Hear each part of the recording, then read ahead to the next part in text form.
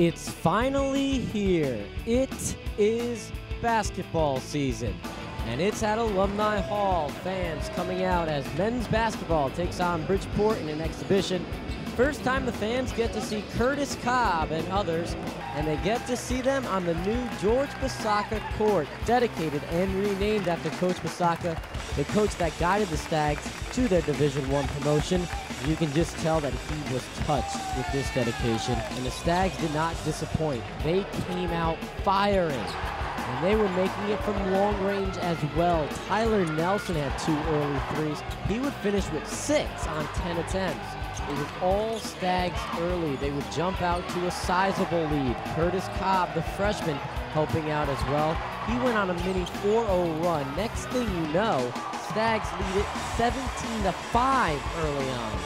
Bridgeport, though, would fight back, but the theme of this game was the Stags found a way to weather the storm.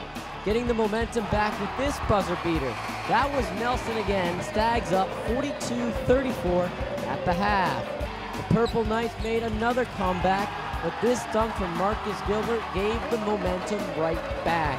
He had a game high 28 this three made it a five-point game, and that lead would be extended by Jerome Segura. Sydney Johnson said he told Segura that this was his team to lead, and the fire was lit, driving in and dishing. Or scoring by himself. Segura was one of three Stags in double figures. He had 19. In the end, the Stags put up 91 points Everyone was in this game.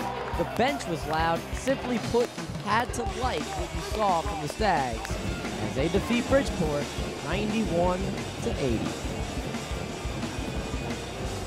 Think we had a couple of guys injured that uh, we, we really could have used in the lineup, but they brought, like Amadou and Mike, brought great energy, and our bench was live and into it the whole game, and that really helped us confidence-wise.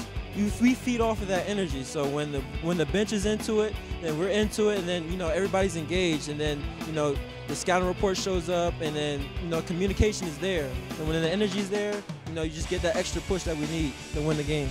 I think the energy from the guys on the court and all of the guys on the bench, whether they were dressed for the game or they were in coat and tie for whatever reason, um, I think all of that energy indicates the type of feeling that we have for each other, how much work we've put in, and what we think about this season. Our future is tremendously bright here at Fairfield. We have a number of these guys who are just seniors, but then we have a number of underclassmen too. So this year and years moving forward are really, really bright for our program, and these guys know it.